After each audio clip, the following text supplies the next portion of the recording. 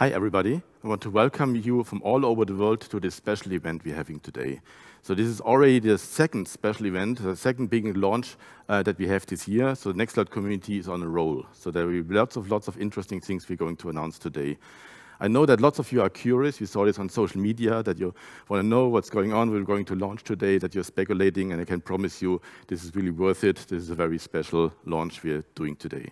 Of course, there are a lot of challenges also in the world, right? Uh, if you know, there's a, still a pandemic going on, there are some wars, and there are also lots of challenges, especially for the IT community. So we as IT people, we as software people, there's a lot of things that we have to deal with. For example, there's still this big question about can we somehow communicate and collaborate privately and securely over the internet? That's, of course, a big question that's going on for a long, long time.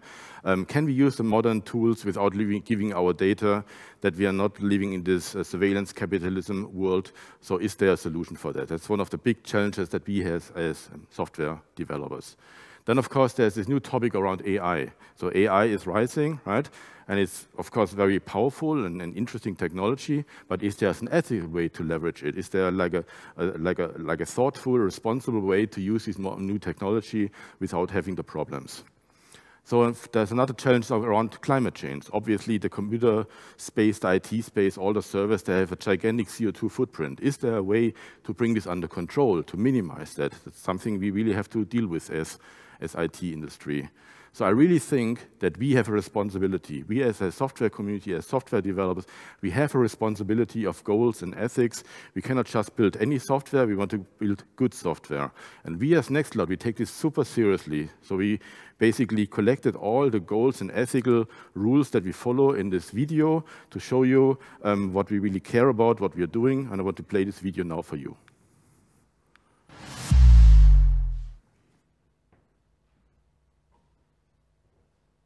We believe privacy is a fundamental human right, and everybody should have access to secure communication free from surveillance. We are building decentralized products as an alternative to centralized platforms. People can choose what they want and where they want it. We believe in open source and open standards. Open source is the only way for users to trust their devices. We value sustainability, protecting people society, and the environment. We believe accessibility is a fundamental human right and technology should be accessible to everyone. The time of our users is very important to us. That's why we do our best to make Nextcloud easy to use. We foster diversity from innovation to transparency and collaboration. Working with our communities and supporting marginalized people leads to a better result.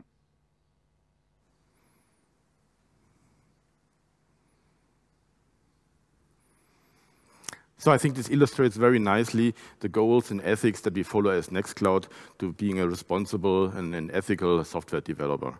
But now let's talk about Nextcloud. Nextcloud is obviously this very powerful tool where you can communicate and collaborate over the internet. And I'm personally really, really proud and really happy that it's used by a lot of very interesting and very important organizations in really, yeah, in lots of interesting and important use cases. First of all, there's Amnesty International. They're using Nextcloud to protect the data of journalists and activists, also in places that are often not very nicely, and there's surveillance going on, and Nextcloud is a great tool to help here. Then obviously Nextcloud is also a great tool in the education sector. So here's an example from Renater. That's an organization which provides um, Nextcloud services to all universities in France. So this is obviously a very huge and very, very important project, and we're really happy that we're part of that. Then next example are the schools in Berlin. The schools in Berlin are in the, pro, in the moment in the process of rolling out Nextcloud to every single student, to every school.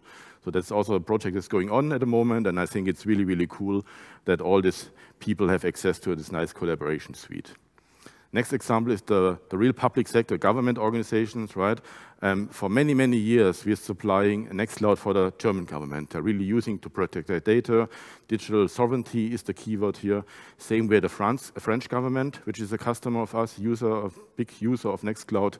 Then the Swedish government is in the process of rolling it also out for the whole country. And there's, of course, the European Commission, which is also using Nextcloud heavily. And yeah, as I said, the, uh, the, the, word here is digital sovereignty. They really want to keep their data under control. It should be fully GDPR compliant. They like open source. And this is why they chose Nextcloud, and they're really, really happy that we are part of that initiative. Of course, Nextcloud is also used in a lot of places where um, you don't have access to the latest technologies. Maybe you're buying for cloud services from the US or China is expensive. And yeah, if you live in the, in the global south, you also want to have um, access to the latest technologies. You want to study you want to learn it, you want to build something on top of it. And this is why we're really happy that in all those places, Nextcloud is also very, very popular. And of course, it's used by a lot of companies who use it like for remote work, for home office work.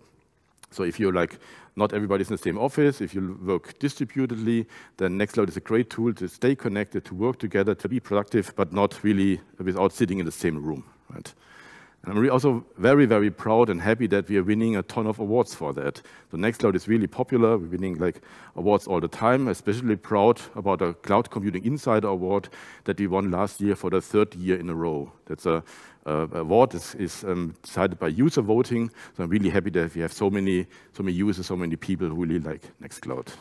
Another thing is that we are also working together with a lot of important and, and, nice organizations. And we ask some of them to give us a testimonial, like a video testimonial, what they think about our work, what they think about Nextcloud. And we ask three of them this time. There's Wikimedia, which is, of course, the organization that is running Wikipedia, very important. There's Shadow, that's a very interesting um, cloud company from France. And there's also OVH Cloud, which is one of the leading cloud providers in Europe. And yeah, I want to show you the video testimonial, testimonials from them now. Hello, I'm Eric Sèle, CEO of Shadow. Last year, we've launched Shadow Drive. Shadow Drive is based on the technology of Nextcloud, and we're very pleased to continue this partnership with this company, very innovative and sharing the same values that we have to protect the data of our users. With those new releases, we are very pleased to continue this strategic partnership and we wish you all the best for the future. Hallo, wir freuen uns sehr, dass es Nextcloud gibt und wir nutzen es auch gern und viel bei uns. Ja, vor allem, weil es ähm, unseren Projekten natürlich sehr verwandt ist. Open Source, transparent, jeder kann es für sich nutzen. Ähm, großartige Sache.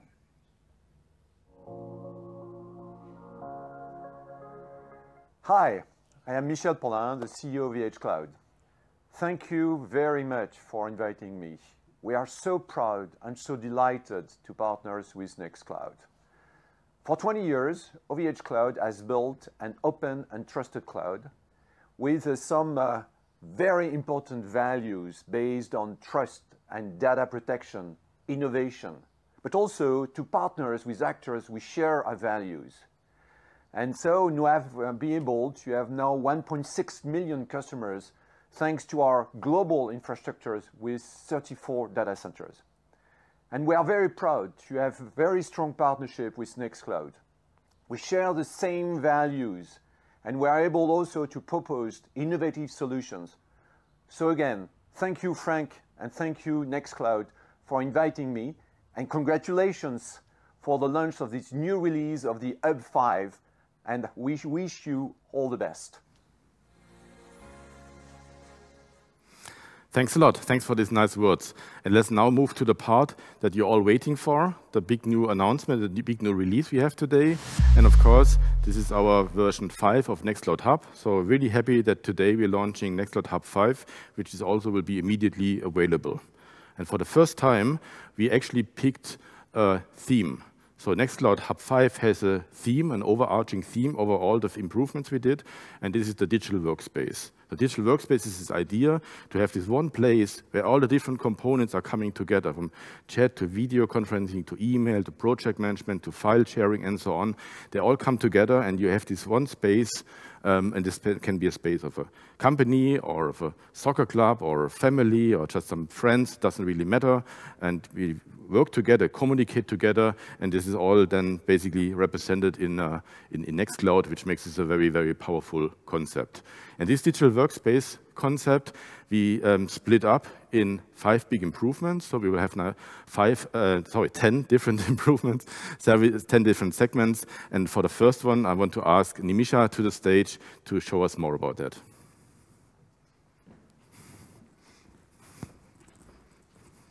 Over here. So let's talk about design and the first major improvement for Nextcloud Hub 5. We spend a lot of time in front of our computers. Whether it's for work or for personal things, it's probably in front of a screen. So it's really important that the software you're using, it works for us, it gets out of our way, and we feel good and familiar, and we're having fun while using it. This is why we announced Nextcloud Personal last year. And in building that, we followed four design principles. First is focus on the content. We make sure that the information you need is front and center so that you can do the work you need to do as soon as possible. Second is ease of use. Software should get out of your way. We believe in smart defaults and doing things automatically instead of having a billion settings and configuration. Third is great accessibility. Everyone should be able to use Nextcloud, regardless of whether you use a mouse, a keyboard, a screen reader, whether you have vision impairments or motor impairments, you will be able to use Nextcloud. And fourth, you can make it your own. For feeling at home, it's really important that we're able to customize and personalize our experience. And because of that, we launched Nextcloud Personal. The interface is clean, uh, your wallpaper still shines through, and whatever was visible in the dashboard previously is now seen across all your apps. So as you change your wallpaper, it reflects across your entire Nextcloud. In this release, we also added some new distraction-free wallpapers. These are wallpapers that are subtle and calm and understated, and they provide a great look. And if you want something that's not super busy, this is for you. But of course, you can also upload your own backgrounds. It's super simple. All you have to do is hop on over to your settings, upload your image, and off you go. And regardless of what background you choose, whether it's your own or one provided by Nextcloud, the color of your instance automatically adjusts to match the background. This means everything looks seamless and put together. We think we have a great selection of backgrounds at Nextcloud, but we want to expand, which is why we're really happy to announce the Nextcloud Wallpaper Contest, where you have a chance to get your wallpaper featured on Nextcloud. You can head on over to our blog and check that out for more details. But of course, that's not all. We also have uh, added advanced theming options for people who would like to white label their Nextcloud. This means that you can change your background, your color, your logo, as well as fonts and how rounded the corners look. And this is really useful for, for providers of Nextcloud who would like to have some custom branding for their instance. As always, we are also working on, on accessibility so that we adhere to the strictest standards. In this release, we completely redesigned the Contacts app. So whether in an organization or at home, you have a ton of colleagues, friends, and family whose details you want to keep track of in an address book, and Nextcloud Contacts is the solution to that. We completely redesigned how it looks by removing the multiple columns and showing everything in one nice, neat column. You can also switch between viewing and editing your contacts, and it's easier than ever to add new information for a contact as well. And one of the things that I love most about Nextcloud is working with the community to build something together. And with the Nextcloud design system, it's easier than ever to get started in Nextcloud design or think about how your new Nextcloud app might look. The Nextcloud design system is a design toolkit. It's a set of components that's available on the open source prototyping and design tool Penpot that we use at Nextcloud. It contains the, a lot of components like text inputs, dropdowns, avatars, sidebars, templates for mobile and desktop, colors, typography, icons, and so much more. This, along with the Nextcloud design guidelines, will make sure that you have pixel-perfect visuals that you can use to contribute to Nextcloud design. To find out more about how you can do this, head on over to nextcloud.com slash design. So these have been all the improvements. Let's take a look at it in a nice little video.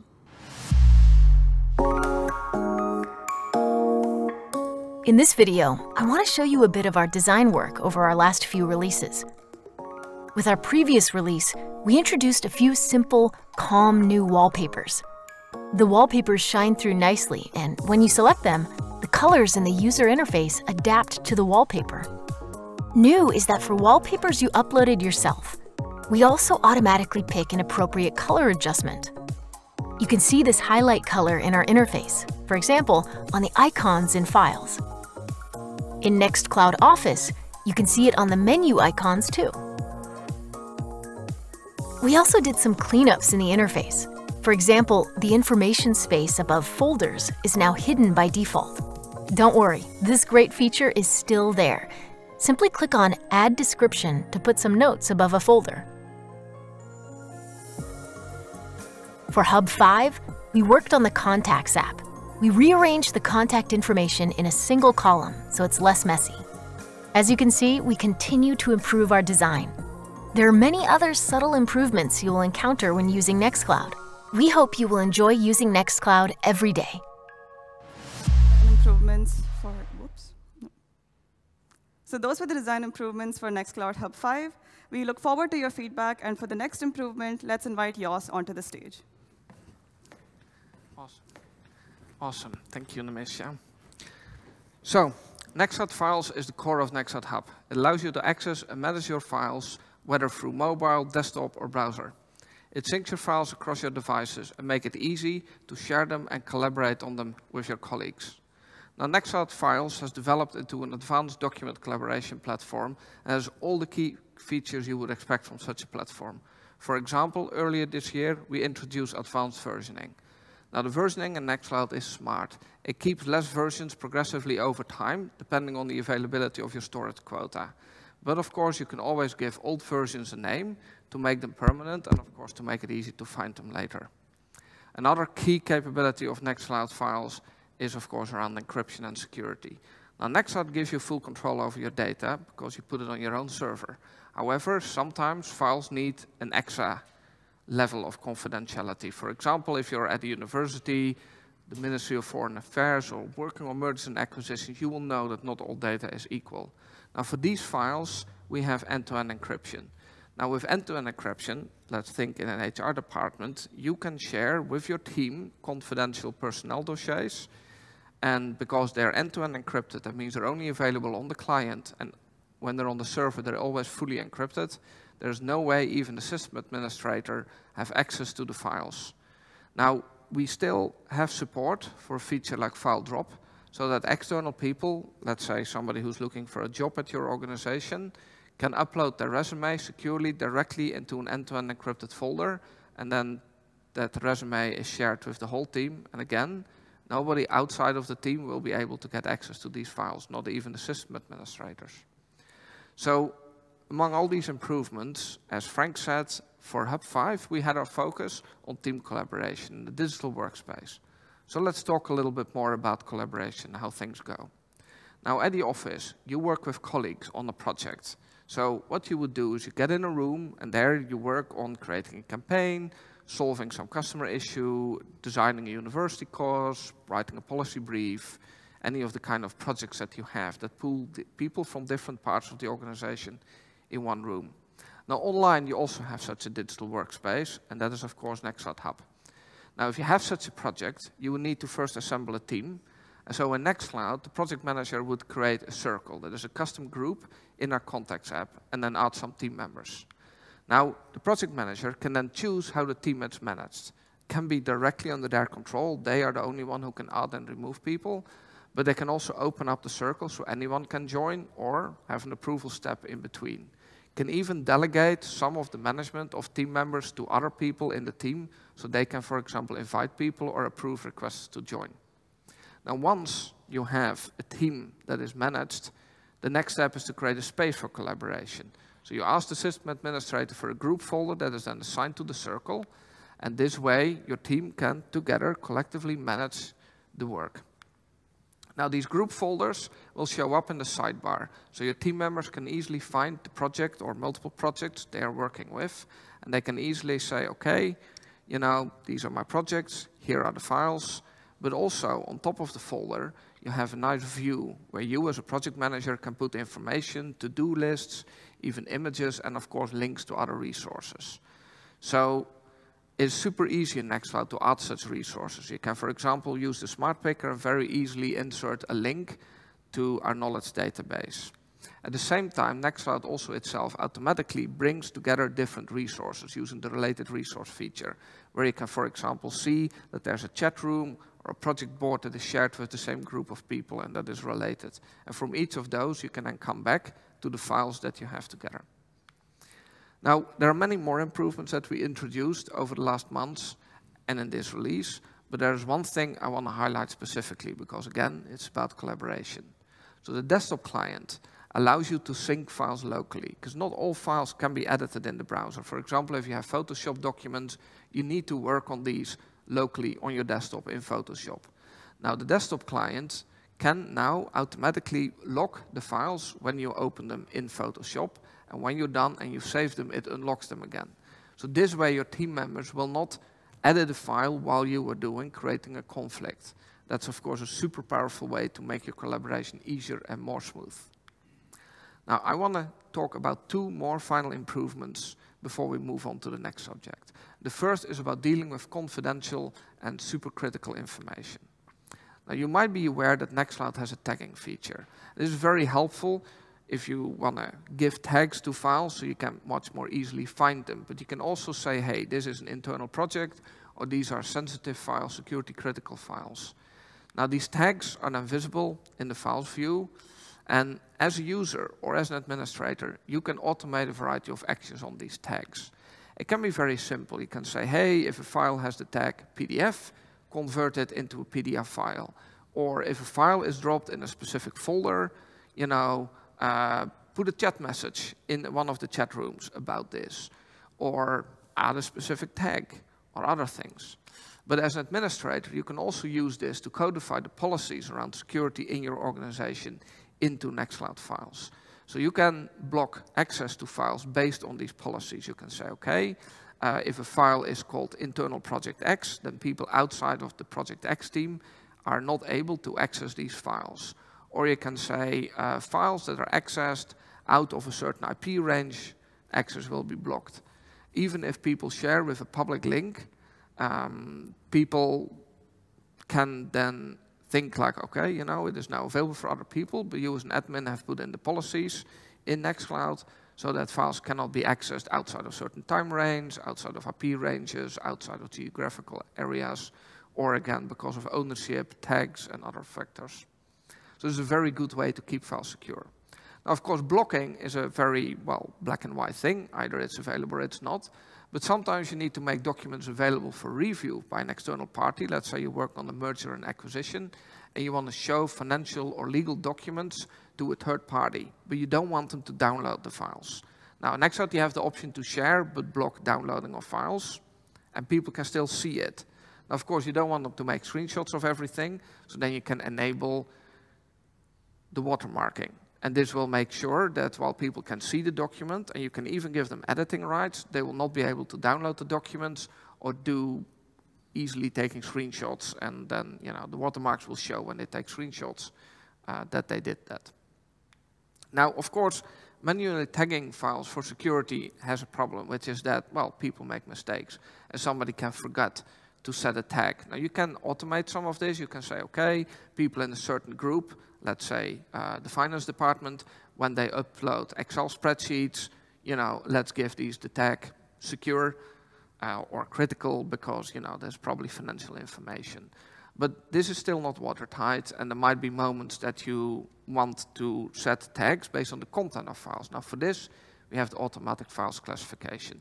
So what this does is it looks in the content of files and allows you to set some policies so that, for example, credit card information or personal information, banking data is detected, and these files then get automatically the correct tags that you have configured.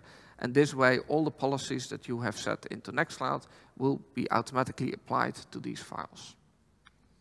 Now, these tags are also available on our mobile devices. You can see them there in the file view. Of course, as a user, when the tags are editable, and that can be configured, but if they are editable, you can also add tags and remove tags as a user. Now, the last thing I want to talk about for files is the upgrade that we did to our virus scanner. Now, our virus scanner obviously hands over files to a virus scanning tool that can then say, okay, this is a problematic file, let's put it in quarantine or not. Now, we are now supporting the ICAP protocol, and this is used by most of the big virus scanning tools out on the market which means Nextcloud is not compatible with those. But it's also used by a variety of data loss prevention tools. And they can also then enforce certain policies on the files this way. So this can be very helpful for data loss protection. So all these improvements together help make Nextcloud ready for use in situations where you even have official security classification systems, like for example VS NFD in Germany. So this way your team can work together without having to worry about data leaks. I'd like to now ask Fabrice on the stage. Yes, thank you, Jos. Thank you. So I have the honor to talk about Nextcloud Talk today and the changes we're bringing to Hub 5. So first of all, Nextcloud Talk we all know and love. It supports chatting, one-on-one -on -one calls, those big group calls, and of course you can run your webinars with Nextcloud Talk. We have a range of features uh, within Nextcloud Talk. We support polls, previews, background blurring, silent calling, group mentions, and many, many more features, uh, which you come to expect from a modern communication tool. So let's run through a call with your team. When you start a conversation, you have group mentions. In that way, you only address the people you want to have in that call and not the complete chat room. And while you are typing, others can see what's coming. And then you are ready to start the call. In Hub 5, we introduce custom backgrounds. Next to the existing feature of background blurring, you now can choose your own images. So, and under the three-dot menu, you have the ability to start your call silently. So not everybody in the chat room have their phone ringing, and you can just reach them silently. So now we're all in the call, and you have the ability to share your expressions through emojis, which will fly over the talk screen. Now, let's say someone of your project team is not able to attend a project meeting. So someone needs to brief this missing project team member. So in our previous Hub release, we introduced call recording. You can start and stop the recording at any time during the call, and all the participants will be notified when you do so. After the call, you get a notification that the recording is available, and you can share directly with the missing team member or your team, or you can store it on an Nextcloud file for future reference. Sometimes project meetings require some extensive brainstorming or focused discussions.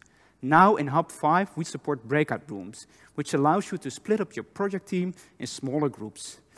Breakout rooms are such a powerful concept, and it's not only an interesting feature for project meetings, but also for workshops and for those classroom situations. In our previous release, we introduced the Smart Picker.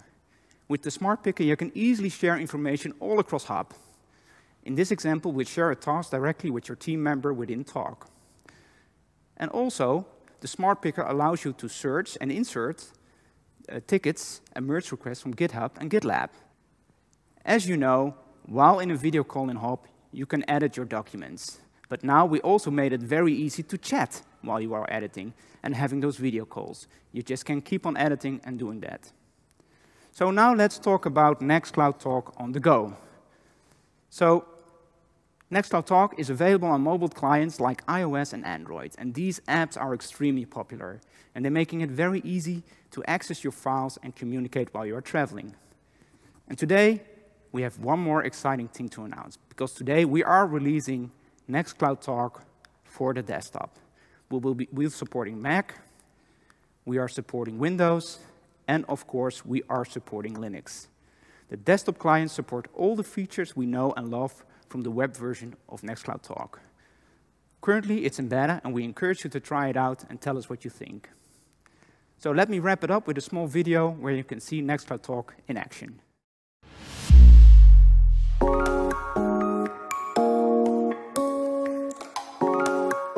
Nextcloud users stay in contact with each other through Talk. You can use it for chat, one-on-one, and group calls, but also for webinars and presentations. In our previous release, we introduced recording of calls.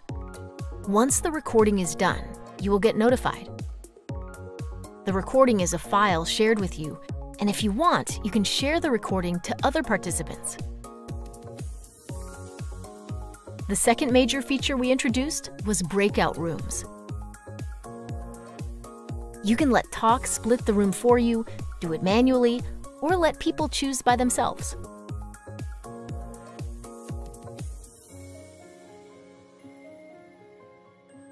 In the breakout sessions, you can discuss and brainstorm, while the moderators can move between rooms.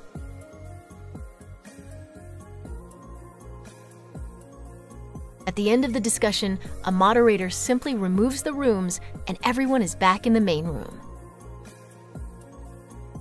So let's discuss the results of our breakout discussion. I would like to record this session. Now, when I stop the recording, or simply at the end of the call, I get the recording shared with me. Talk notifies me that the recording is shared with me. I can, with one click, share it in the room if I want. But there's more. We demoed our Smart Picker earlier to easily add a link to a location or a task from Deck. We brought the Smart Picker also to Talk, and it can do everything it can do in text and collectives.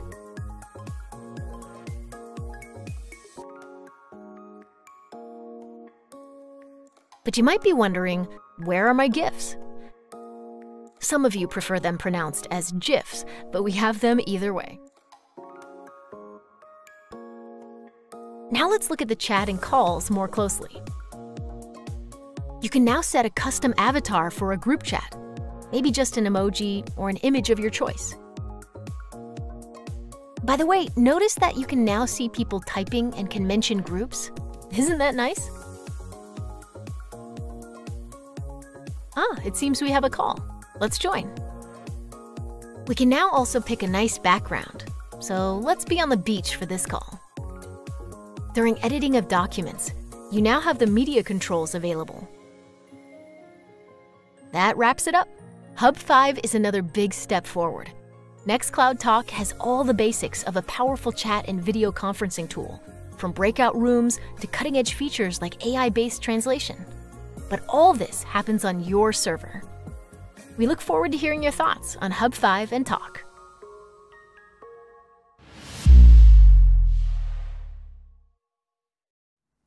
This was an overview of what's new in Nextcloud Talk for this release. We look forward to hear your feedback for this release with breakout rooms, call recordings, smart picker, and of course the upcoming desktop client. And with that, I would like to ask Christina for the next section on stage. Thank you, Fabrice. So Nextcloud Text and Collectives.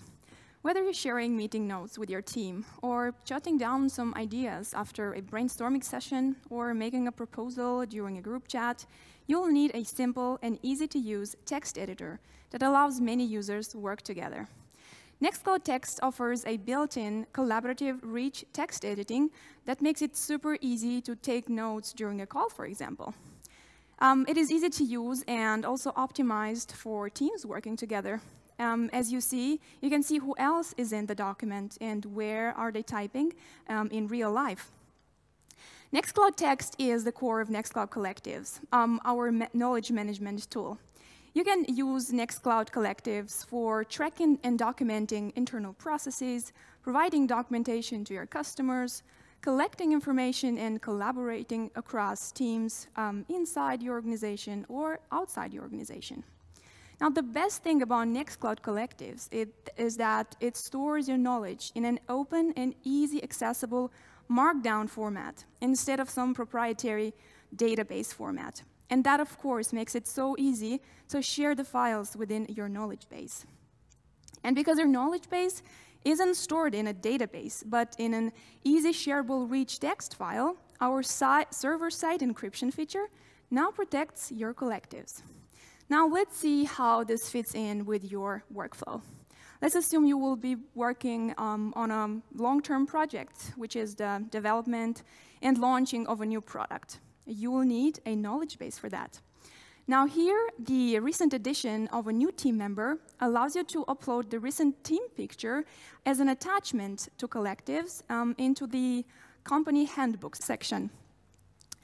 Your new team member needs some guidance to find the company office location. And here, the Smart Picker comes in handy, and it allows you to um, insert all sort of, sorts of content, including maps. Um, so this is thanks to the coolness of the OpenStreetMap project. As you can see, uh, the content is very interactive. So the Smart Picker um, allows you to add um, all kind of resources, um, internal and external, into your documentation. So whether you'll be working um, together with your team on a project planning for a public library or the teaching of students over the course of a year, Nextcloud Collectives will help you collect, and manage your knowledge. Now let me show you all the improvements in action in this little video.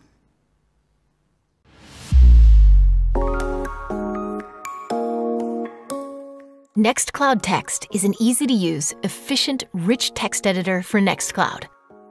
With this release, we show you the cursor of others who are editing the document with you. This feature also comes to Collectives. Collectives is our knowledge base app, which you can use to keep documentation neatly organized. In Collectives, you can now more easily move pages around, even into another collective. We also introduced a nice dialog that helps you create a new collective. A few settings were added to collectives. For example, you can now configure if editing mode should be on by default or view mode. We also added a way to quickly see the files that the collective is built out of in the Files app. And of course, from Files, you can now go back to Collectives. There are many other smaller improvements all over collectives and text. But let's talk about something big our Smart Picker. Just type a slash to access it. With the Smart Picker, you can easily insert any kind of content in collectives. For example, find a task from our Kanban style planning tool, Deck. It shows up as a nice preview of the card.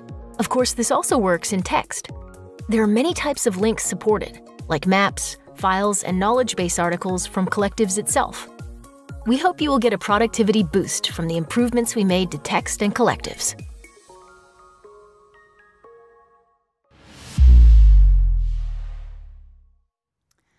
And this wraps up all the improvements in text and collectives. Now for the next part, I'd like to invite Jan on stage. Thank you. Yeah, so uh, now we uh, talked about notes and knowledge bases in, within a team, uh, and now I'd like to show you uh, what we improve for personal note taking. So yeah, every one of us uh, takes notes, I assume. Yeah, they're very important to us, uh, whether it's for planning, for diaries, or for shopping lists, or journaling, uh, planning a trip, or to-dos for work. Uh, yeah, they're very versatile, and uh, we use them all the time. And uh, we use them on mobile or on desktop, yeah, wherever we have them. And yeah, that brings one problem with it, of course, that yeah, Apple, Microsoft, Google, and so on, they all have access to all our notes, all our deepest thoughts, all our work, to-do lists, and so on. And uh, yeah, that's not right. So uh, yeah, we fixed that, um, of course. We worked uh, together with our amazing community to make the Nextcloud Notes app a really great experience. For example, the mobile apps for iOS and Android, uh, which were developed by our cool community, uh, they're now free to download in the stores, uh, the Play Store and the iOS App Store. And also uh, lots of improvements on the web interface, including, uh, for example, using the uh, text app, Nextcloud Text. So you can, for example, uh, insert images into notes or use rich text and yeah, really, really use notes however you like.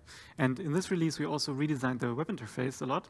And uh, we implemented a, uh, we implemented a feature that was much requested, which is the three-column interface, which will help you have a nicer overview over your notes and find what's relevant for you.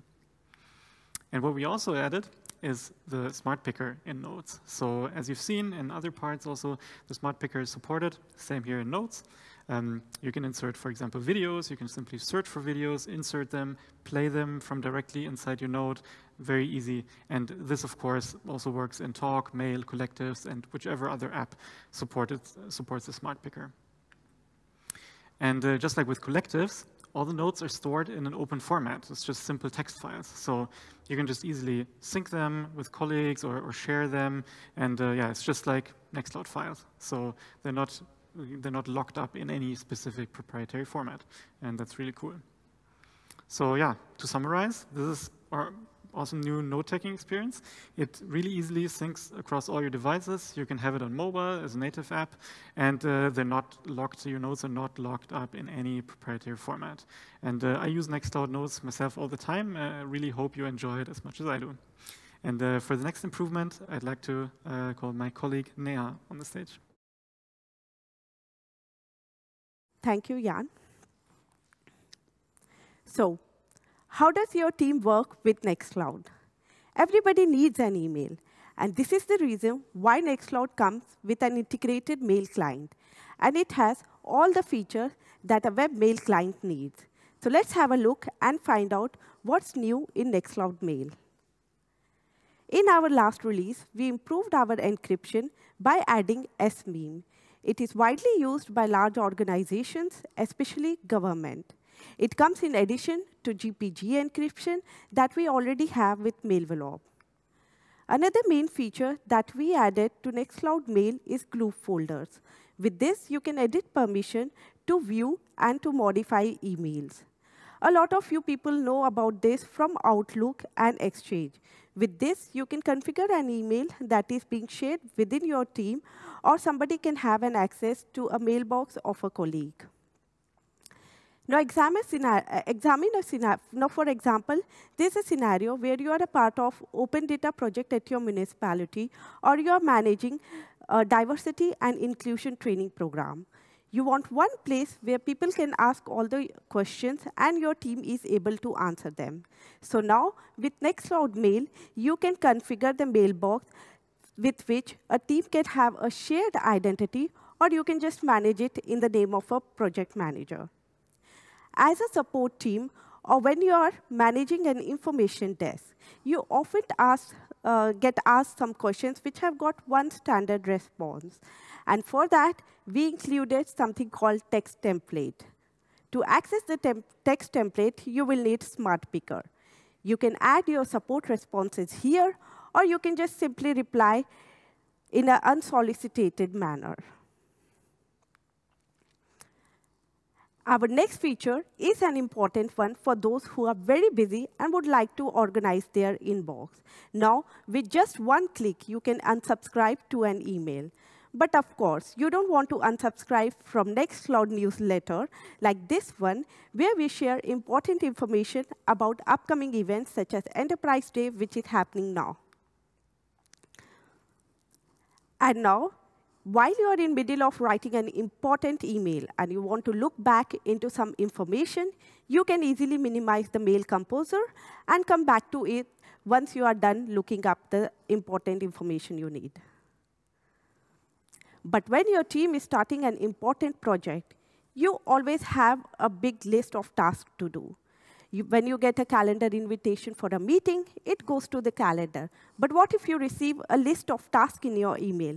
For that, now you can convert your email into the task.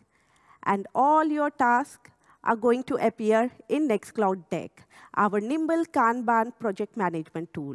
You can edit the board real time with rich text, with supporting images and tables where needed. You can, and even here, you can use the smart picker. You can insert links to the knowledge base or even links to the chat room with all the relevant information. This will ensure that all the information you need for a certain task is in one place.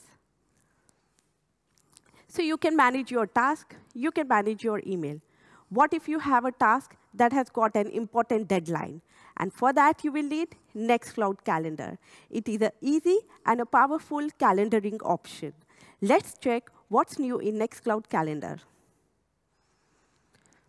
So you can see all the tasks that you created in Deck will appear in the calendar as well as Task app giving you an option to select the app that is most convenient for you to use, and at the same time, ensuring that you don't miss out on those important tasks and deadlines. So what's new in Nextcloud Calendar? Well, you can discuss your meetings in the email and add it to the calendar by yourself. But with this release, others can also book an appointment for you.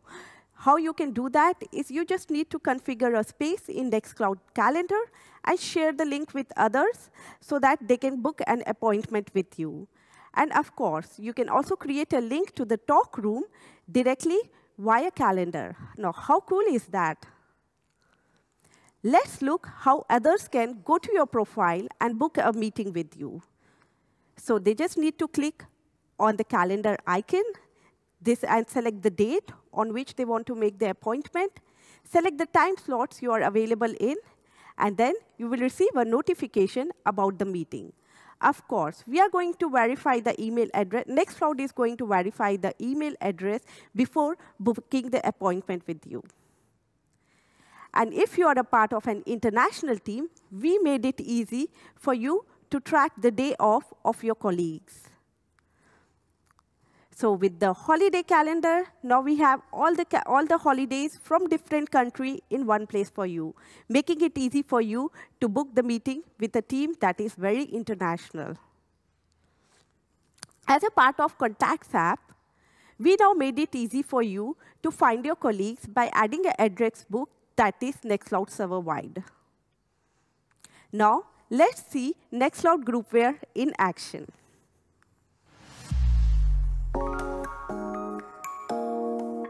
The Calendar app is one many of our users spend a lot of time in, or at least they use it to manage their time.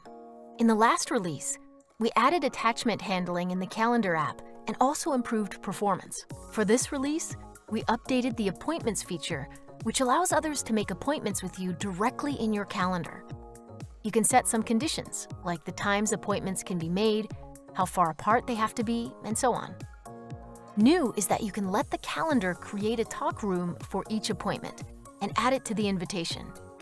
You will also get notifications now when new appointments are made. If you work in an international organization, you probably want to know when your colleagues have a bank holiday. To make that easier, we now have a way to easily add a holiday calendar for a specific country. A big thank you to the Mozilla Thunderbird community for maintaining these calendars. Nextcloud Mail gives you access to your emails wherever you are. It is a very complete mail client with a nice, easy-to-use interface and features like a vacation autoresponder, favorites, a nice search, encrypted mails, and more. Our previous release expanded on the existing GPG encryption support, adding S-MIME signatures and encryption for safer emailing in enterprise environments. A second feature many large organizations need are shared folders. They allow a team to manage a mailbox together. We also expanded the autoresponder. You can now make it smarter, replying to the subject of the mail you got.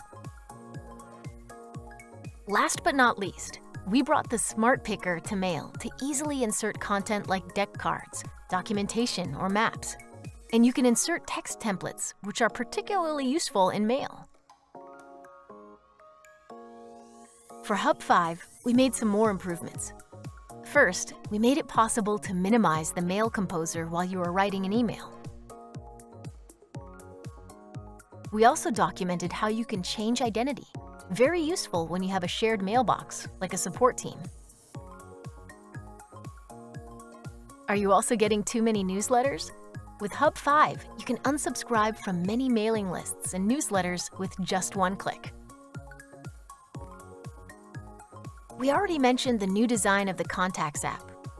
We also introduced a system address book, which makes it easy to find the contact information of your colleagues without having to add them and manage their data manually. We hope you will love the improvements we made in Groupware and look forward to your feedback.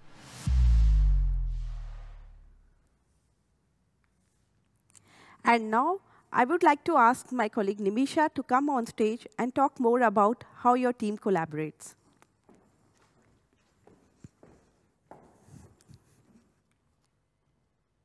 So let's talk about the next major improvement for Nextcloud Hub 5. We are all social people. At work, we like to talk and socialize with our colleagues, and I think we can all agree that with remote working, it's maybe a bit more difficult to create and maintain those personal connections with the people we work with. And that's why we're building Nextcloud Social. It's an internal social network, and it's super easy to use. You can follow what your colleagues and see what they're up to.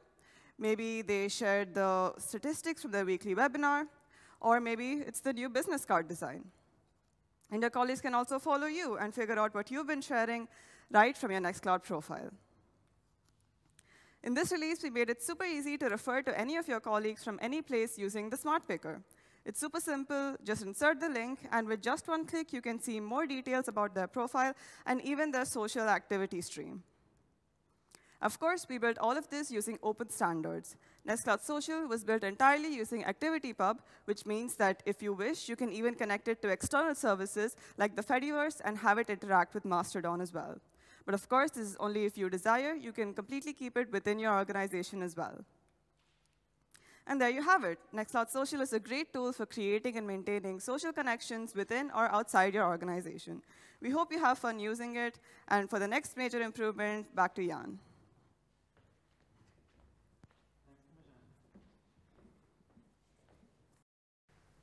Now, the next improvement I want to talk about is Nextcloud Tables.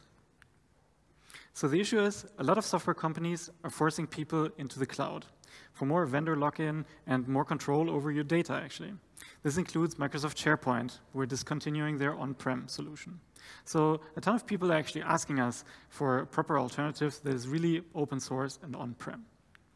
So since use Nextcloud uh, can actually cover a lot of what Microsoft SharePoint can do. So we have group folders, for example, and a lot of sharing features and full text search, and yeah, really a lot of features which cover all these use cases.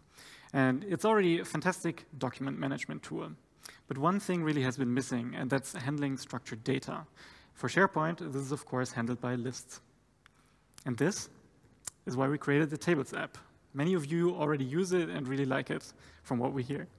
So yeah, it really allows you to do a lot of things uh, in a structured way. So for example, you can create a wide variety of tables, you can create customer lists, uh, you can use it for internal processes, and so much more. Basically, yeah, your imagination is the limit. So you can uh, modify and, and edit anything, you can add columns, uh, add entries, and also tables can be shared and exported to work with your other tools. And so you can work within your team, but you can also, you're also not limited to Nextcloud tables. You can also work with anything else that you like.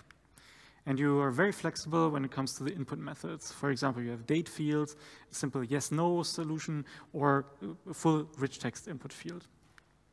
And with the new release, we added a ton of improvements. For example, single and multi-select of columns, sorting, filtering, and search, rich text editor for text fields, and the ability to manage tables via an API. And another thing that we added is actually import. So you can import CSV and XLS files. And uh, one thing that is very cool is when you edited a table outside of, uh, of Nextcloud, so for example, you added a new, new column in, in Excel or uh, in LibreOffice, uh, then it automatically detects that and can add the column to the table. So you don't have to do that manually and just adds the data. So that is very cool. So to show you the real power, I'd like to show you some specific examples of the templates that we have. So as you see, we come included uh, with a bunch of useful templates you can use and adapt.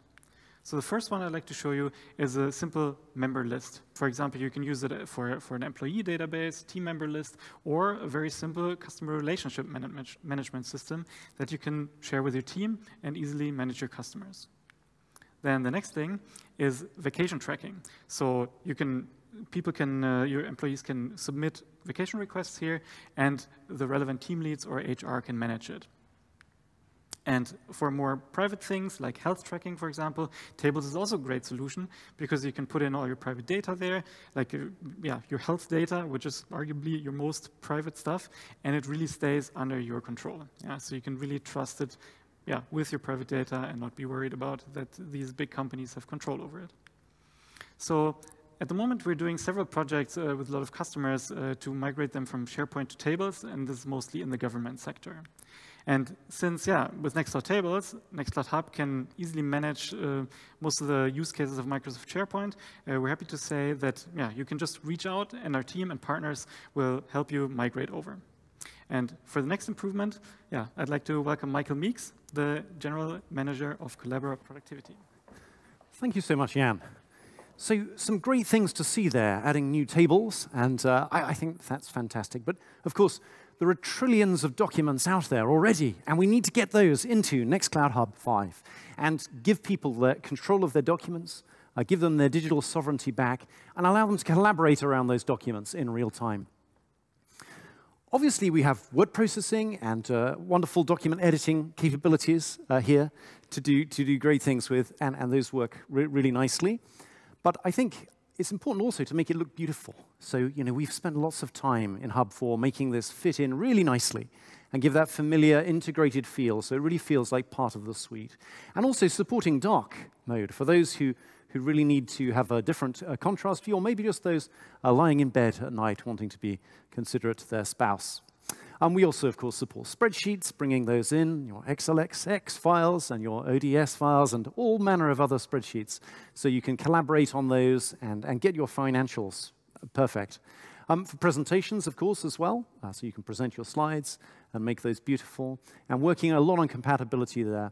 Um, Draw perhaps is not a component that's as known as it should be, uh, so you can get your Visio diagrams in, actually even Microsoft Publisher files in some cases, and uh, draw small, small diagrams and, and copy paste those around the suite and use them elsewhere.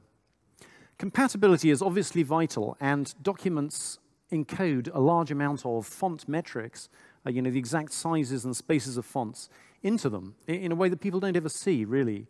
And so to make interoperability and compatibility so much better there, um, we've included easy ways to not only manage, but also thumbnail and see those fonts right into Nextcloud Hub 5, uh, so you can drag and drop and move and, and, and bring those, those fonts in uh, to make your documents look beautiful. Um, I think we talked about watermarking, uh, another critical feature to make sure your documents stay in Hub 5. You can share a link with someone else, and they can collaborate, and they can edit and redline maybe, um, but they can't get the actual document until it's just perfect. So, uh, so you can see how that works there with the watermark. Another key thing is that uh, you know, if you're in a meeting and someone hasn't shown up, it's absolutely vital that you can give lots of work to them and uh, you know, encourage them to show up next time. Um, so at mentioning is a great way of doing that with comments. Just do a quick at, start typing, select the user, bing, they get a notification that'll bring them back into that document, uh, just like in Nextcloud Talk and other parts of the uh, Nextcloud suite. So very, very powerful there. Another key feature in uh, Hub 5 is Zotero uh, integration, so we can do citations, and this is a really beautiful uh, integration. Uh, you don't need a Java app. It just works out of the box. It talks to the Zotero uh, cloud service, so you can share citations with your group. Uh, maybe you have a research group in a university. And you know, there's a lot of things that you commonly cite as you build uh, the world's knowledge on top of existing knowledge. Uh, and of course, useful for students too, to make sure that they're you know, not claiming credit falsely, but also for lawyers and government officials drafting legislation. Lots of uses for that. Another key thing here, of course, is the smart picker. And would it be a Hub 5 talk without a smart picker uh, plug? So, you know, getting rich content uh, beautifully into ne uh, Collabora, Collabora Online, uh, Nextcloud Office. And uh, just like in Mail, Collectives, Talk Notes, all of these other components, you have that same rich functionality providing so much power and all of these exciting plugins uh, that go into that smart picker mix there. So, so, some really cool things here, linking people and showing these nice previews of people. And I think as we link documents more and more, it becomes really important to, to look at those links. And, and it's, you know, it's a bit of a pain having to follow every link in your document to check it's nice. So isn't it cool if you can just mouse over there and you can see a thumbnail, it is a correct link, it goes to where we want to, and then not have to have to follow it uh, to check that out. So just seeing how documents connect better and more quickly in that Hub 5 world. And not just linking, but deep linking inside documents. So I think this is a really unique feature here. You can then link directly into, uh, uh, say, a chart or a heading or a specific piece of a rich legacy document, potentially, and you can browse through that and link directly into just that specific heading or piece you want to highlight to someone. Another key thing we've been doing is making those large documents uh, easier to navigate. Uh, so we've added this uh, sidebar on the side, which makes uh, things, things much easier to, to see the structure of documents and to, yeah, for, for accessible uh, users to perhaps see and, and quickly navigate through large, complex documents.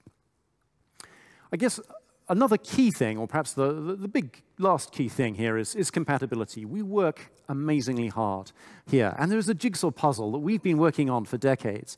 And I'm just, I don't know if you like puzzles. I mean, I love them. But the last few pieces, you know, are just, are just going in here, and it's getting so much better.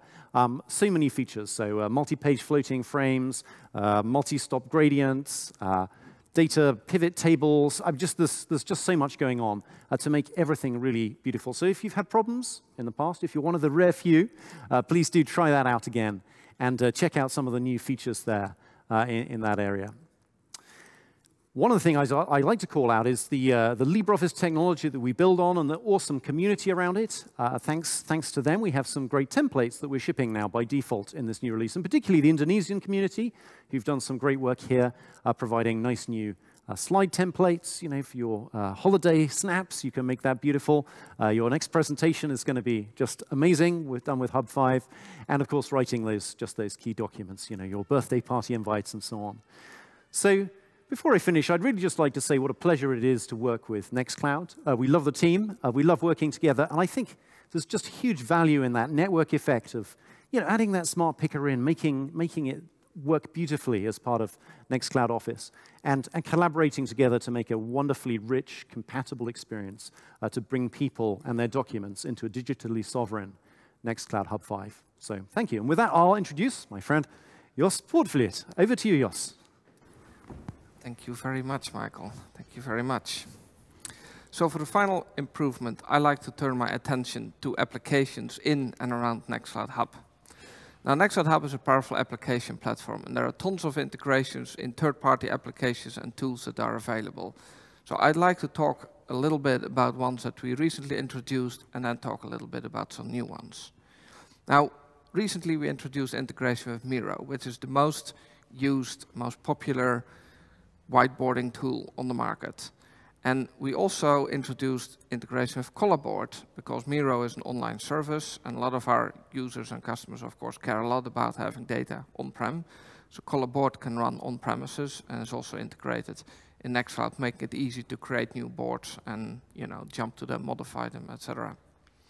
Now we also integrated with Bluemind Groupware solution as well as with XWiki, which is an open source and on-premises wiki that has really, really nice Nextcloud integration now. You can really search for your wikis from within Nextcloud and you can, you know, view them there, edit them there. It, the integration is very nice. Now Mattermost, which is a chat application, also has integration with Nextcloud now. We um, make it possible to share files directly from Nextcloud Files into a Mattermost chat room. And we worked with our friends at the OpenProject community and there we also developed a really nice integration. We actually recently improved it further, allowing users to really nicely connect the data related to their projects together between Nextcloud and Open Projects. So Open Projects allows you to basically select files from Nextcloud and connect them to a project or upload them, and then they are stored in Nextcloud with the relation to the project being made visible. Uh, you can find projects, you can search through them from within Nextcloud, so the integration here is very nice. Now a new integration we did is integration to Notion, a popular design and note-taking app. Now the Notion integration makes it super easy to share a link to a Notion page or Notion database with other people using the smart picker, so you can do this everywhere in Nextcloud Hub, in Talk and in Office and in Groupware, in Files.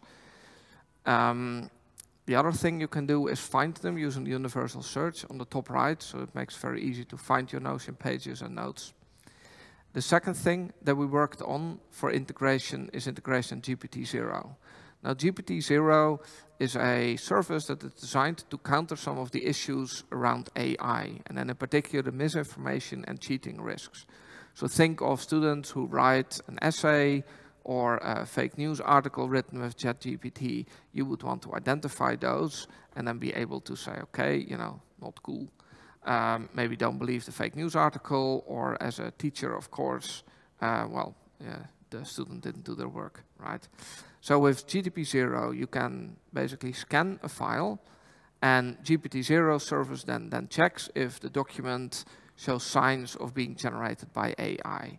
It gives a probability um, but of course, even then, we have to understand that this is part of an arms race between AI generators that try to fool the detectors and sound as human as possible.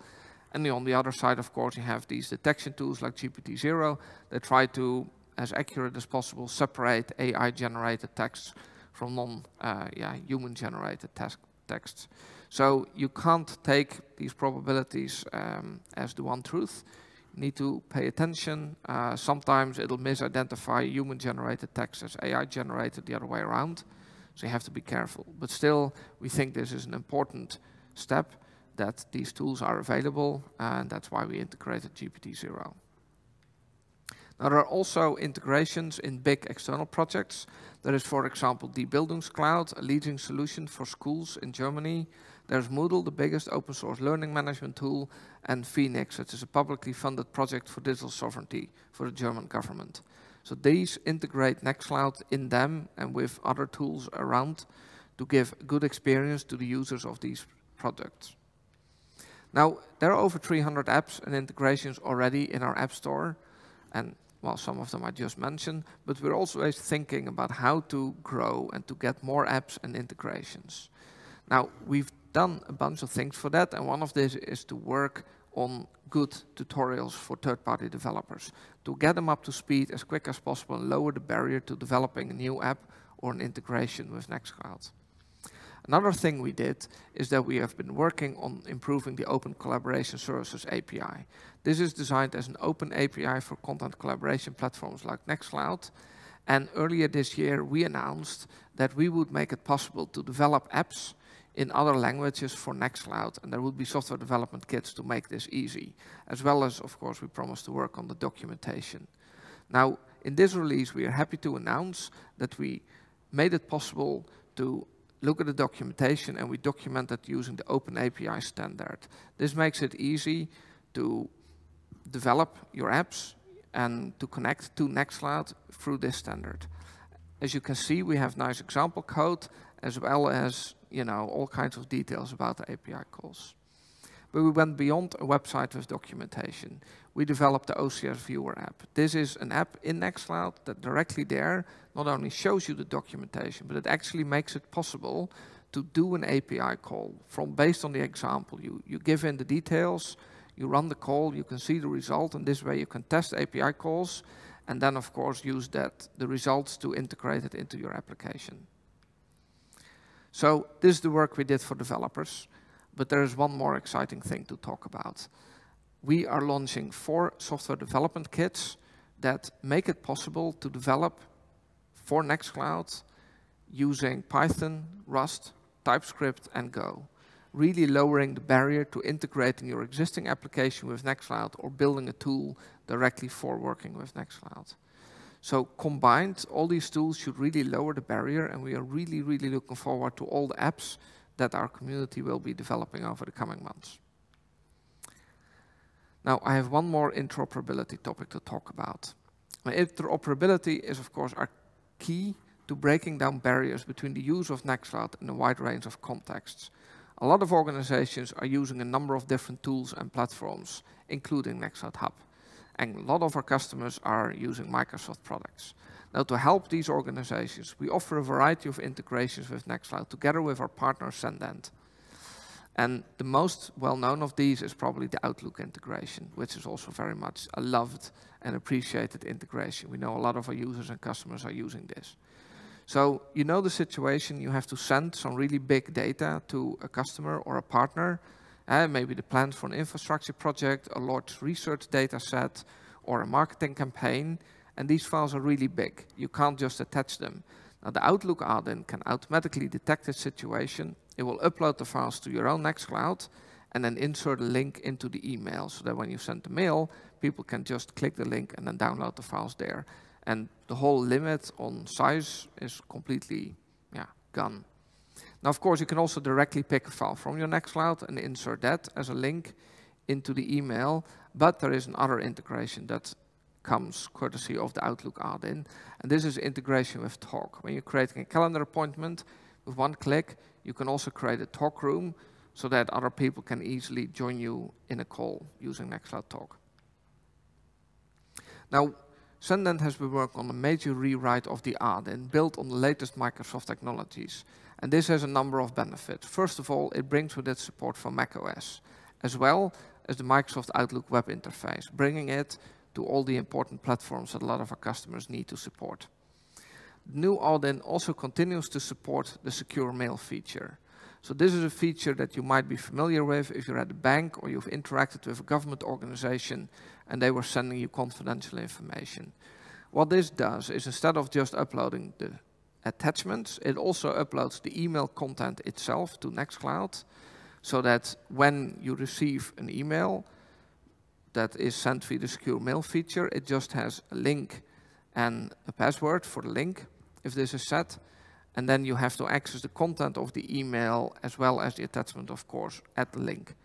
Now this way, the data of the user, the sensitive data that you're emailing them, is not shared with the email provider that the user is using, which could be a private email provider like Gmail or Hotmail or something like that. So this way the data is being kept, well, on Nextcloud, secure in a way, and they can also use guest accounts so that the user just gets notification and a link, and then has to log in there before they can see the email and download the attachments. Now, there's more, of course, to Outlook integration, and that's why we earlier introduced the Microsoft Exchange connector. This syncs Nextcloud calendars and Outlook calendars. So it is very easy for users to edit a calendar in Nextcloud and then see the changes in Outlook and the other way around, making use between those applications much more seamless. It does more. It also works for calendar and contacts. So your contacts will be synced between your Nextcloud and your Outlook, and so you have the same on both. So the final Nextcloud Exchange Connector release is scheduled for later this year, and you can still sign up for beta testing. Now the third and last integration that is coming for Outlook, uh, well, for Microsoft, is actually Microsoft Teams integration. So this integration will make it easy to share files into a Teams chat room directly from Nextcloud. You can simply select the files, you know, set a password, expiration date if you like, and then the link is directly inserted with a nice preview into the Teams conversation. We invite you to join our beta programs you can learn more about these integration apps on our blog. But of course, on the back end of Nextcloud, there is also a ton of integrations with Microsoft environment. For example, you can have shared storage between Windows Network Drive and SharePoint and Nextcloud, or you can have your user directory shared using Active Directory, or for editing documents, you can use the Microsoft Office Online Server directly. So between all these different and improved integrations, we think our customers will have a great experience working between a Nextcloud system and a Microsoft environment, and we look forward to your feedback on all these. Now, next, I would like to ask Frank again back to the stage. Thanks a lot, Jos. Wow, there's so many improvements. I, this is such a long presentation. I think we are getting to two hours now, um, but there's so many great improvements we have in the latest release, so it's really mind-blowing how productive the Nextcloud community was and of course still is. So at the very beginning, I told you for this release that we for the first time have a theme, something that really binds all the features together. And that's, of course, as I said, a digital workspace. And you can really see, I think, from all the different pieces we had here, how this all fits together into one very nice integrated collaboration suite. I mean, you have the smart picker, which binds everything together. You can link from one resource to another. We have the widgets to show them. We have the integrated search, the integrated notification, and so on and so on. so this is really a very nice integrated collaboration suite, which I think is very, very useful and very impressive. Um, but of course, often people come to us and say, okay, this is great, but I only want to use parts of Nextcloud. Maybe I want to use only the talk, the uh, talk, chat, video conferencing part, or only the uh, groupware part, or only the file sync and share part, or other things. Or maybe I want to extend it with other solutions. Maybe you want to integrate a different mail client into Nextcloud, or a different chat into Nextcloud, and so on. And I'm really happy to say that everything we showed you, all the components are all plugins that we call apps. They're all components that you can switch on and off separately. So Nextcloud is not one monolithic thing, but it's really a component of different things. And you can really switch on and off the ones you want. And you can also add the integrations we heard just from Jos to integrate into other solutions. You can really have your collaboration suite as you want it. I think this is a very, very powerful and helpful concept.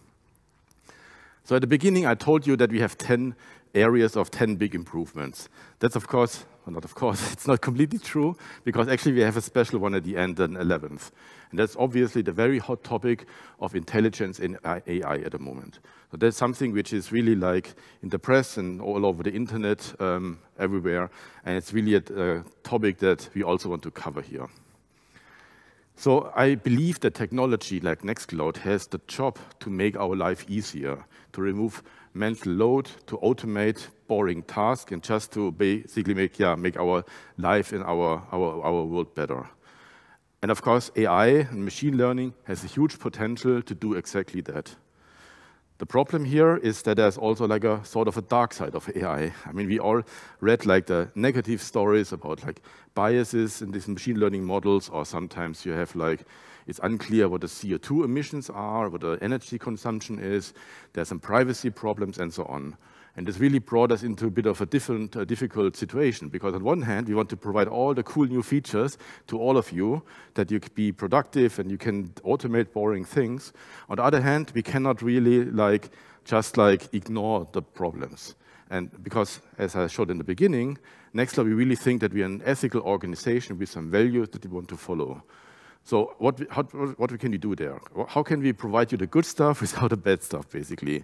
And this, after a lot of discussions, brought us to the Nextcloud Ethical AI initiative. So this is a framework that we discussed and use internally to judge our own machine learning activities, but also use to judge other things that we integrate into Nextcloud. So they can make sure that we have the, the good parts of AI without the bad parts. Of course, you might uh, ask the question, what is ethical AI, right? It's just a nice term, but what does it really mean?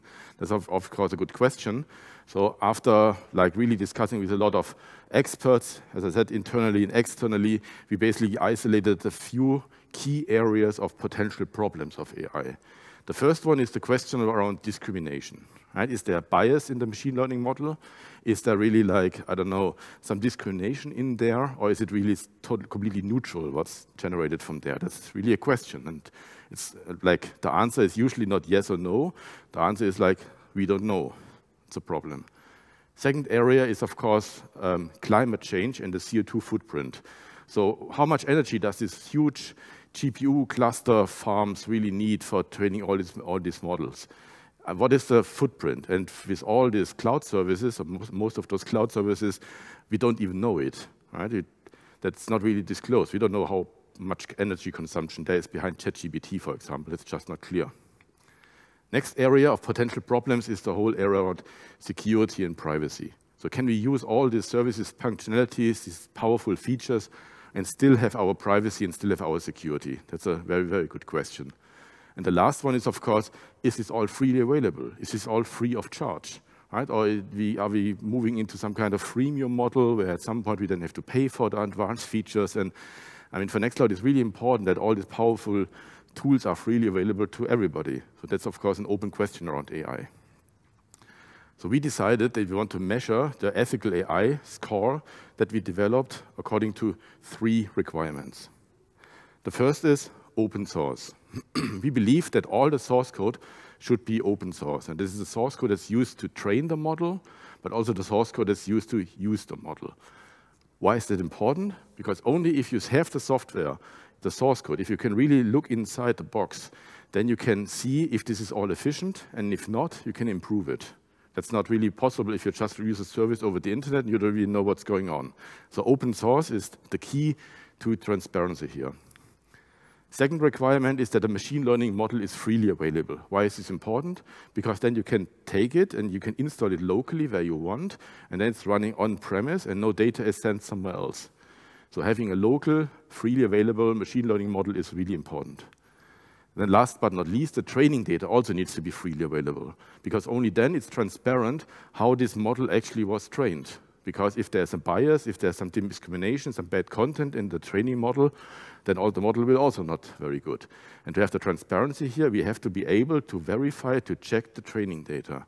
And if it's open and we find a problem, then we can fix it. And again, this is needed for transparency. So what we develop now is this traffic light system. Right? We have this um, green, yellow, orange, and red uh, ratings, and they're basically connected to the three requirements, depending if all three are done, uh, fulfilled, if two are fulfilled, one is fulfilled, or if none of it is fulfilled. Okay? So we basically are committed to rate all the activities we do internally and all of our partners and other services we work together with according to those traffic light systems. And they're all exposed to the user, so the user can really decide which plugin to switch on and off. Just to be clear, all of these AI features are optional. Right? You can really switch them on and off as you want, and you can judge it according to this traffic light system. That's very important. So you might wonder, okay, why is Frank like hammering so hard on all this ethical question and all this privacy questions and open source, and this is really such a big deal. It's just another service on the internet, right? Well, if you're following the press lately, then you really see a lot of discussions around this topic. I think I all started with Samsung, they had a case that an engineer from Samsung copied in some confidential data into ChatGPT, and then obviously this confidential data leaked to somewhere else. This led to the ban of ChatGPT in Samsung. And I think since then, this spread to more and more companies. So uh, Apple also decided to ban ChatGPT for the same reasons. and also the same with JP Morgan or Goldman Sachs, Citibank, and lots of other organizations. They all ban this Bard uh, assistant on the ChatGPT and all the things because well, data is floating around, leaving the organization. You don't know what's going on. And the worst case, it's even used to train the model further. So this is also a big problem. So we, as Nextcloud, we are always committed since the very beginning that we provide a solution that is open source and can be installed locally. So no data is flowing anywhere else. And this is exactly the same that we're following here in the AI area. So we believe that everything in Nextcloud should stay in Nextcloud. Everything as should as possible runs locally which gives you the transparency and the security to, yeah, that's what you need. And that's the same for like non-AI technology as same as with AI technology. So let's go through our functionalities and see how this rating system applies. How are we doing here? Let's start with the features that exist already for a while. So you might know that on top of the files list, there is this um, list of recommended files. It's based on behavior, what you did in the past. And this is something which is a intelligence feature, which is according to our rating completely green because the source code is open source, the data is local, no data is flowing anywhere else. This is a really cool thing. And by the way, we have similar features in other areas like share recommendations and so on. Second feature is the suspicious login detection. This is a way where the login behavior of our users is like like monitored and a machine learning model is trained here and we can detect weird or unusual or suspicious logins. For example, if someone logs in from in the middle of the night from an IP address from a different continent, then maybe something is not really correct and then we can send out a warning or trigger two-factor authentication and so on and so on. Right? And this is a system that we built ourselves, of course. It's completely open source. All the data stays local. No, no data is leaking anywhere. This is really good.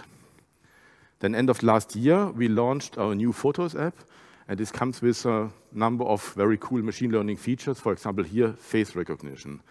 So in your photos, the different faces are recognized and categorized together, and this is then super easy and super useful, like if you have photos of your family or a party or something, to just group them together by person.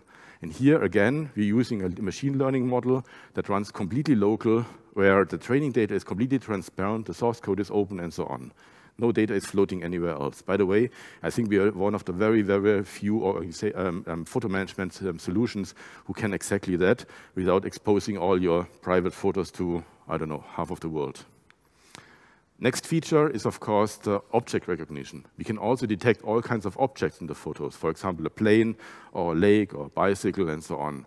And again, this is using a machine learning model that we developed, runs completely local, no data is leaking anywhere else, this is very great and secure. Next feature is our related resources. We heard about it earlier already. Um, we have this uh, segment on the sidebar where we show other things in Nextcloud that are related to the thing that you're looking at the moment. So maybe you're in a, in a marketing um, chat channel and there's a marketing folder and a marketing calendar intelligently, automatically linked together. It's a very useful feature. And again, it's completely ethical and no data is leaking anywhere else. It's very, very powerful. The last example I want to give here is, of course, our priority inbox. So in mail, we have this priority inbox where the very, very important mails are specially flagged and showed at the top. And again, this is using machine learning that runs completely on device. I'm also happy to say that this area was greatly improved with this release. So it's a lot more intelligent. It takes the subject now into account and lots of other things. So this very nice machine learning model is actually improved a lot. And of course, it runs completely local. No data is going anywhere else. Again, I'm not sure if there's any other like mail client that can run locally, which has this feature, which is very powerful. But now let's talk a little bit about the bigger AI features. And now I want to go into four specific ones and talk a little bit more in depth about them.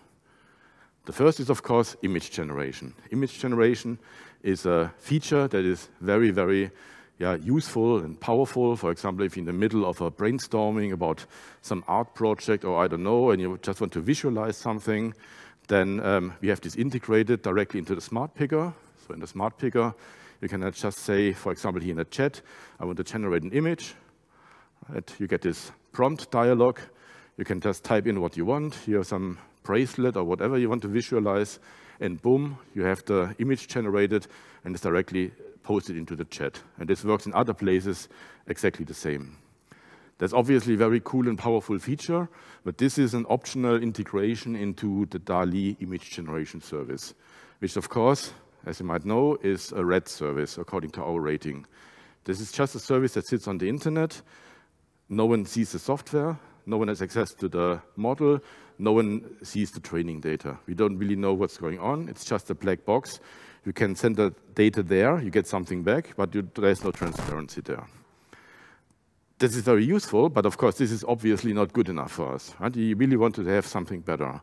And this is why we also developed an alternative to that.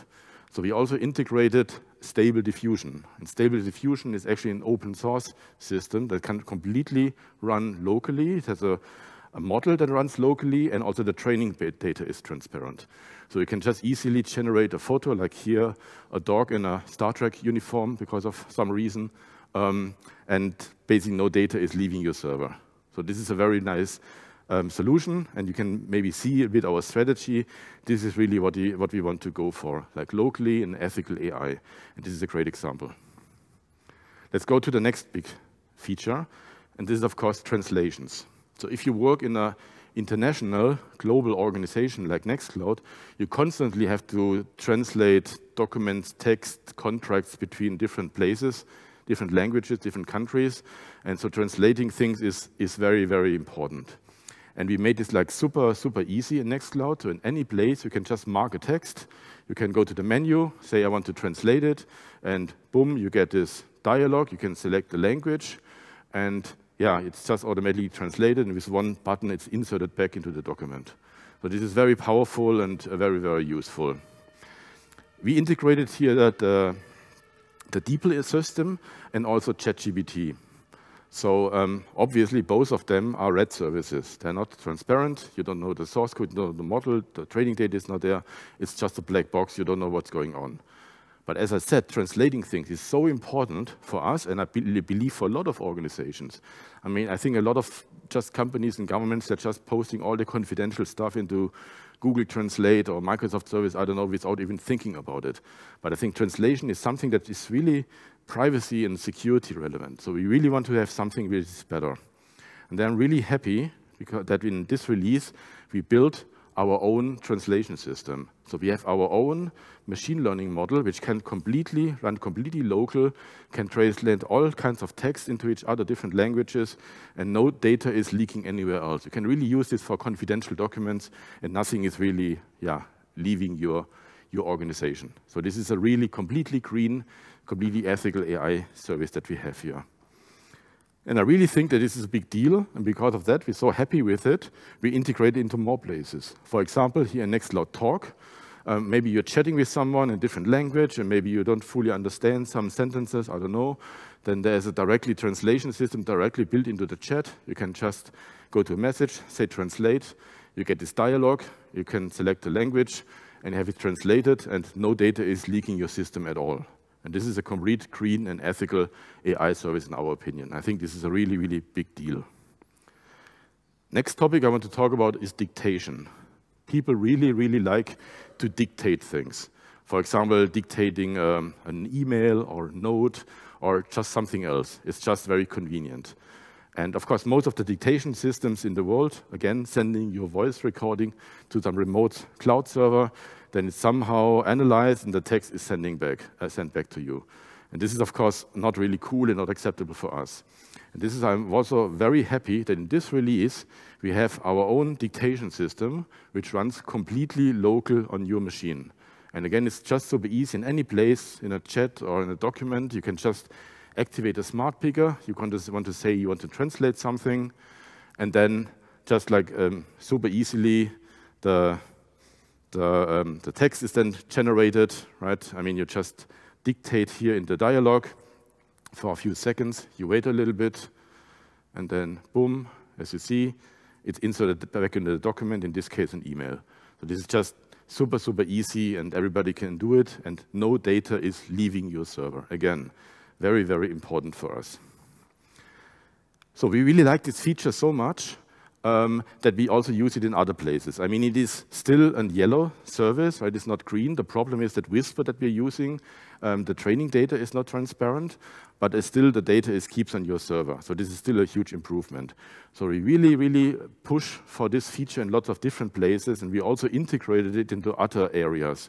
For example, in Nextcloud Talk, you heard about it earlier, we have this very beautiful feature to do uh, recordings. So just with one click, you can record any video conversation, and you get the video um, recording back.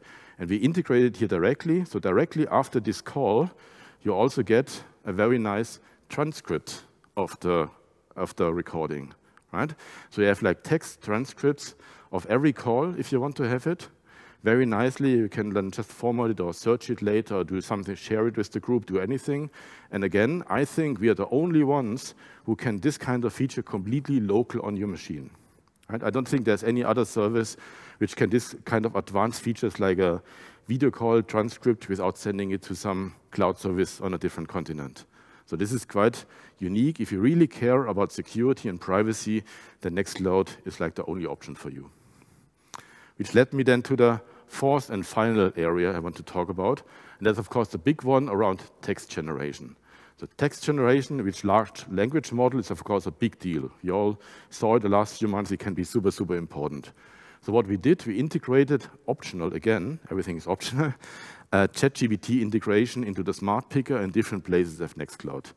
You can, for example, um, just here in a document, select the smart picker and you want to have, I don't know, a contract template um, and boom, it's automatically generated in Nextcloud Office. You just generated a very nice first draft of a contract directly in Nextcloud Office with just a few clicks.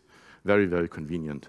This also works in other places, like um, here, for example, in mail, if you want to write a mail, here in this case, like a birthday invitation, you don't really know how to do it, you just give him the simple prompt, press the button, and boom, your mail is written for you. That's obviously super, super useful. Um, and that we can do this with this ChatGPT integration. And this, as you know it, it works, of course, everywhere with the Smart Picker.